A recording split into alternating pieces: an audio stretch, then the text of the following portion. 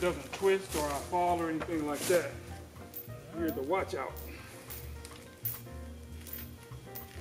So if I can get a little pressure on it, uh, on the tree to pull it back, to keep it from falling where I want it to go, then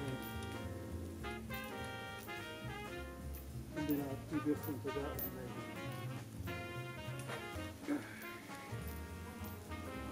Try that one coming down.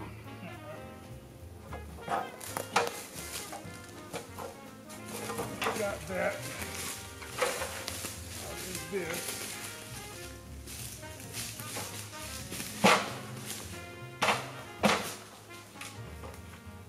Just hold on to the ladder down there.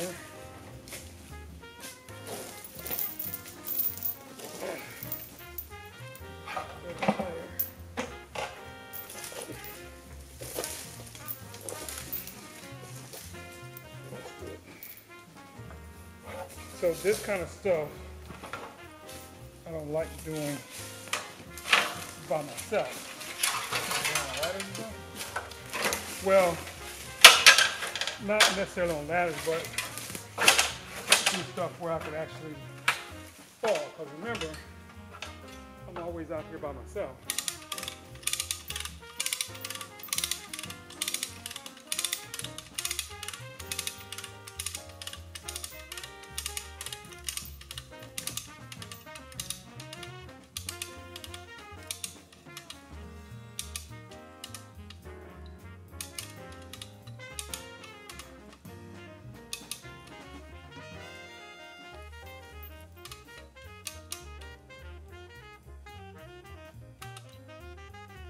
During this trip, there was a few things I wanted to get done, and of course, I never know how much I will get done while I'm here.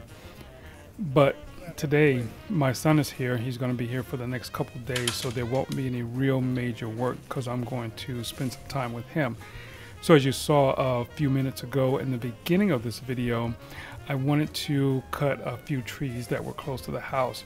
And as you can see, I have the come along along with a chain on it and another piece to straighten the first tree up because what's happening is that this tree was actually leaning towards the house and if I didn't cut it right now I couldn't put in the porch. And I'm not sure exactly when the porch is going in but I wanted to make sure that I cut trees as I go because this tree as I said was leaning towards the house. So this was a good opportunity since my son was here. He could give me a hand with it or just be out there. Because a lot of times I don't like to do a lot of stuff like this by myself because if I have an accident, um, no one would know. So I could go ahead and have him here and have him help me.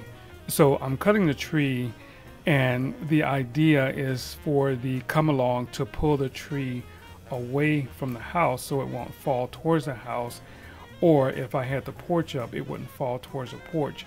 So this tree and about four or five others will have to come out so that I'm not threatened by trees in case of storms and things like that. So that's what the remainder of this video is about, just me cutting this tree and another tree. So as it stands, I'm only going to cut a couple of trees in this video. There is another tree that's close to the house on the left side of the house as you face the house that's actually leaning towards the back of the house. I want to go ahead and cut that out, but in order to cut that out, I need to cut about four or five trees in front of it so that when I cut that tree, it'll fall right to the ground. If I don't cut the trees in front of it, they will hold the tree up and it won't fall since I've been here, I've cleared an area so that I could put in my septic tank, which meant that I cut out a bunch of trees over there so that cutting these other larger trees would just be a matter of time. And since I've been here, I don't know exactly how much time I'm going to have to cut all these trees and get other things done. But like I said, since my son is here, I wanted to go ahead and get it done and I wanted to show him the progress that's been done around the house also because when he was here last it was quite a bit different. And each time I come here, I'm able to get some work done so that I can keep this project going.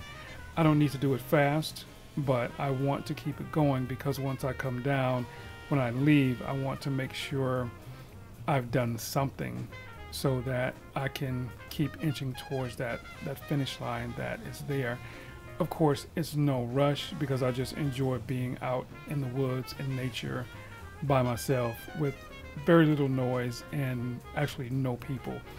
That's what I love most about being down here. But I do want to get some work done while I'm here. So cutting trees and bucking them is something that actually you can tell when that happens because you see more space. And of course with this wood, I'm going to build a pile because it will become wood for the wood burning stove because that's something I've done here also is putting in the wood burning stove is something that I want to do before I leave also. And since I'm cutting these trees, I won't, I'll no longer haul them away to my brother's house because since I've been here, all the trees that I cut, I usually just cut them down, load them onto the truck, and I take them to his place so that he could use them for firewood.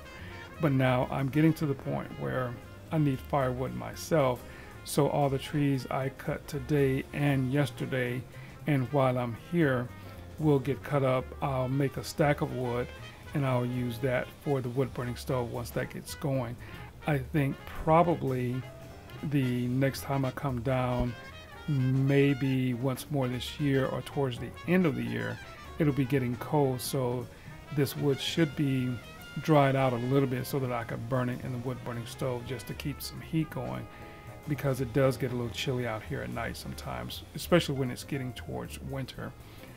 So that's what's going to happen while we're here. And as you can see, it's going okay. My son's standing around watching because that's pretty much all he can do is just basically watch and make sure that I don't kill myself with this chainsaw. Thus far, everything has been going well. I've not had any incidences with the chainsaw because I am pretty careful because at the beginning of this project, I knew that I would be out here most of the time alone so that I try not to do too much and do any really sketchy things because we never know when the saw will kick back or do something crazy. And since he's here, I don't have my chaps on. I know that's probably not a real good excuse, but at least if he's here, he'll be able to get me to urgent care or something like that uh, providing I can tell him the way because he doesn't really know very much around here.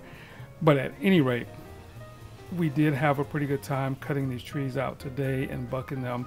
I will more than likely just buck them later because we're going to get out of here and head back out of the woods and maybe have dinner or something like that and do the father-son thing and just kind of hang out because he's only going to be here overnight or something. So I don't want to be out here working all the time. I do want to spend some time with them so that we can get caught up and just kind of hang out. Because as I said, this is really not that urgent where I can't stop working to at least have a decent time. So that's what's going on. And as we get going or continue to do all that we do, you'll be able to see how the space just opens up because there are quite a few trees I need to cut back and cut out because a lot of them are pretty strangly and they're just skinny and trying to grow up to find the sun but since I'm installing solar panels I'm going to need more open space where I can get more sun from clear skies without it being covered by shadows from trees and leaves in the whole nine yards so it's always an ongoing thing. So that's what we're working with right now. So that's what we have. So until the next video, we'll see you.